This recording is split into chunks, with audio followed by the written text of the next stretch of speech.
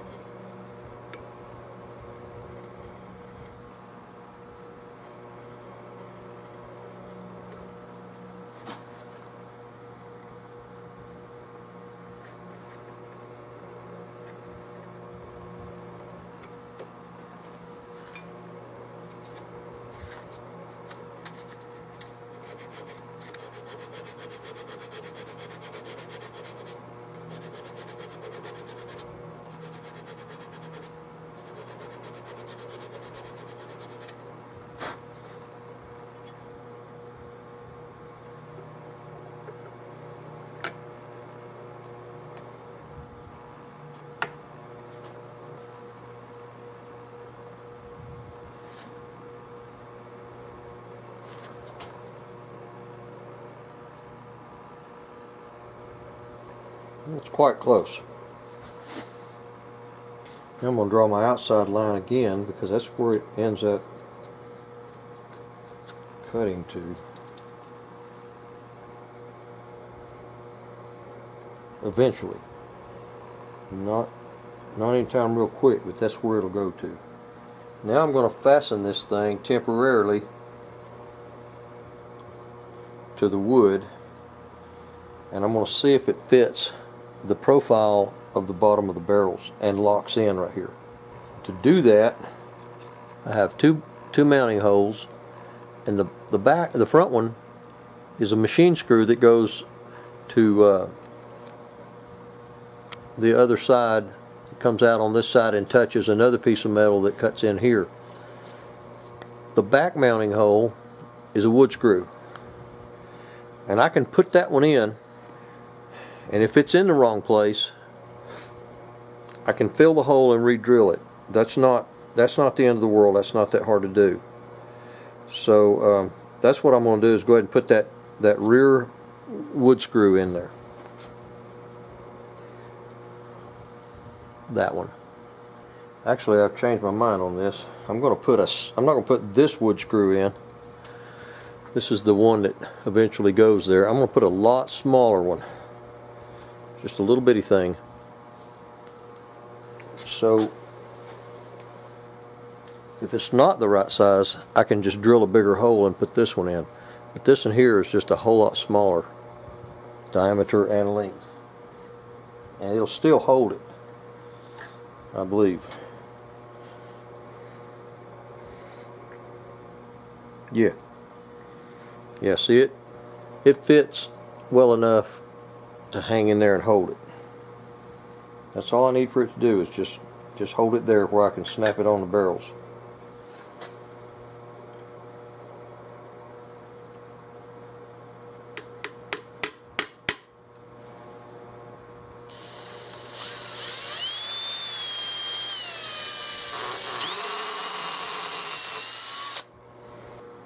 That hole might be a little small.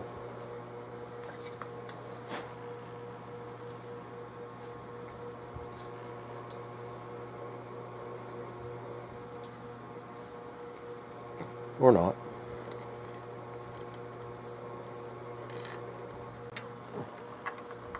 Not tight yet. I think I'm going to take it out. Put a little drop of wax on them threads. And run it back in there.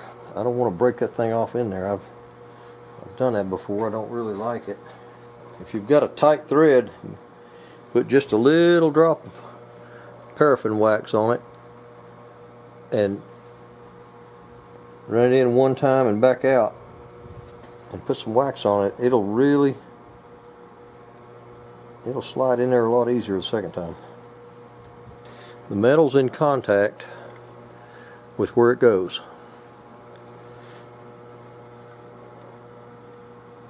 It looks like it fits well enough. It looks like to me. I'm ready to put the bottom metal, the release lever. I'm ready to put it on, I think.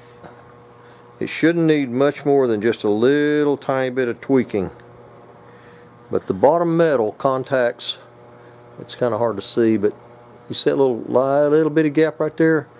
This metal contacts this metal and, and forms a hole where the barrel pivots. And if that is that is really close contact. So I think I can go ahead and mill out for my release lever. Which looks like that.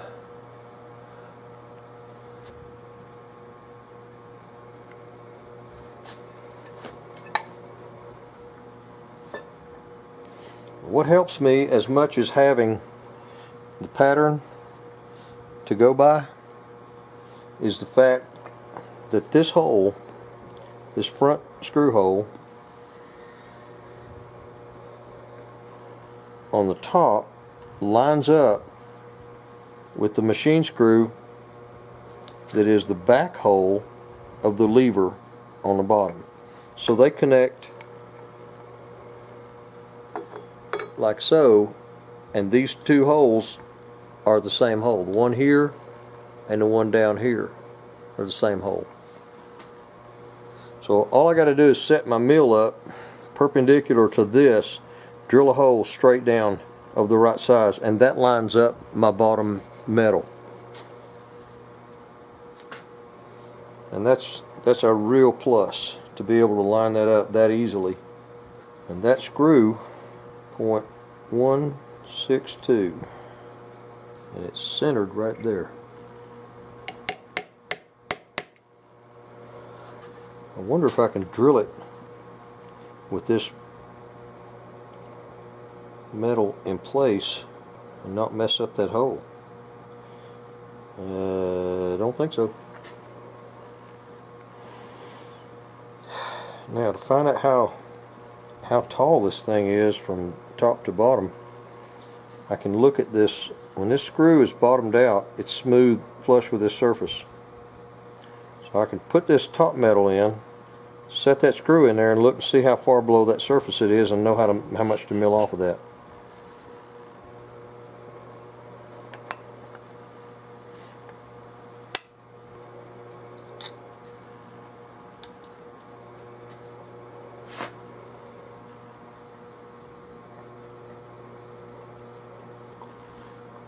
Well, I got to take off uh, 0.213. From this surface down to that screw is 0.213. So, if I take off a little less than that just to ease into it, would be good. And there again, that's also on a taper. See, it's thicker back here than it is right there. So I got to approach this thing really carefully. Well, it looks like that's about right, but it's a scary thing. There's no do-overs when it comes to stuff like this. I'm going to take about a 16th less than that 213 and just cut that off with a bandsaw to start with. You can see where that screw head is. See, it's just a little bit like a 32nd below that. I'm going to do a rough sketch from this hole that I've got drilled. And it's really hard to sight down through a small hole and see a big hole. But I think I'm pretty close right there. I've got my points of this escutcheon in line with my center line should be ending up about right there.